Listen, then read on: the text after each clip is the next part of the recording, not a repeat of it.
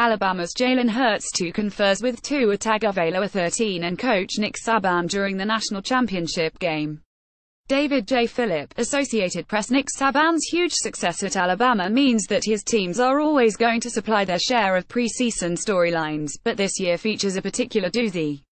Rising sophomore Tua Tagovailoa, the hero of the Crimson Tide's comeback win in the national championship game, is battling rising junior Jalen Hurts, the 2016 Southeastern Conference Offensive Player of the Year, for the starting quarterback job in a shot to lead an annual juggernaut on another title quest. So there was already no lack of attention set to be paid to that intra-squad competition, but Thursday brought an intriguing, if not outright explosive development.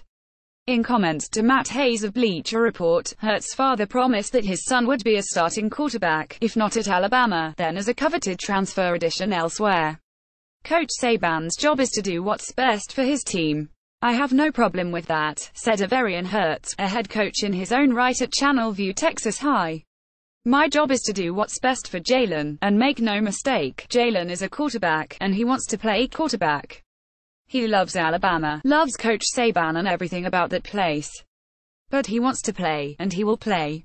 Hayes wrote that Averion Hurts paused at that moment, and when asked what would happen if his son didn't win the starting job in Tuscaloosa, begrudgingly offered this response, well, he'd be the biggest free agent in college football history. Asked about those comments after practice Thursday, just two days before Alabama's spring game, Saban told reporters that Head recently had a very positive meeting with Hurts' father, coming back to the word positive several more times to describe his relationship with the Hurts family. But I think at the end of the day everybody has career decisions that they'll have to make, Saban said via ESPN. Nobody knows what the outcome of the situation will bring for us. We don't want any players not to be able to fulfill their goals and aspirations in our program here. We don't want that for any of our players. After an impressive freshman in which Alabama fell just short to Clemson for the college football playoff championship, Hurts started every game last and led the Tide to a 12-1 record going into another title contest, this time against SEC rival Georgia. However, he played poorly as Alabama fell behind and was benched in favor of Tagovailoa, who had received sporadic playing time during the regular, mostly in mop-up duty. Despite the pressure-packed setting, Tagovailoa performed admirably, completing 14 of 24 pass attempts for 166 yards and 3 two-counts, including the game-winning score in overtime.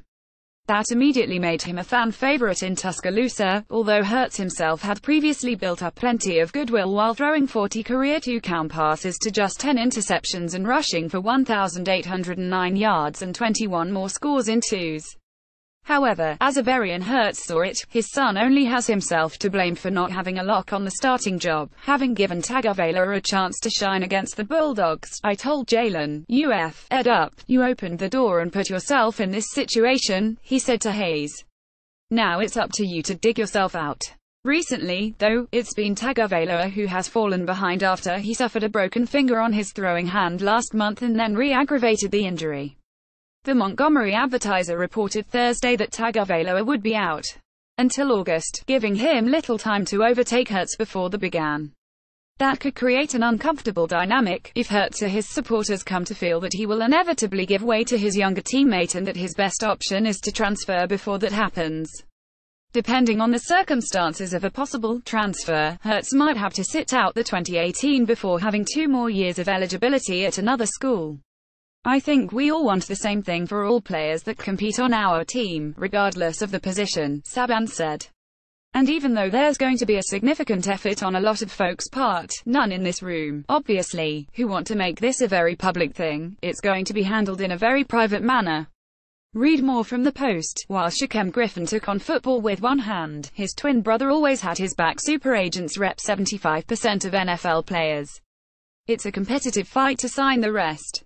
College tennis player apologizes for grossly inappropriate jokes that cause campus furor. It's going to be very hard to play basketball today. NBA mourns death of Gregg Popovich's wife.